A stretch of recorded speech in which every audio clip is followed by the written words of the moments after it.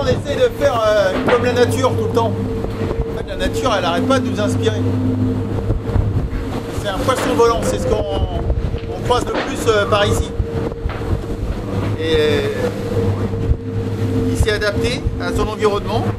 Et pour se déplacer plus vite, plutôt que d'avoir être dans l'eau et d'avoir la friction de l'eau, eh ben, il a eu l'intelligence de s'adapter et de se dire que de temps en temps, ça devenait intéressant de décoller, de voler, un contrôle dans l'eau pour se stabiliser de temps en temps, avec des plans porteurs derrière, les safrans, là, et, un, et finalement, euh, dans l'eau comme dans l'air, d'arriver à avoir un contrôle du vol.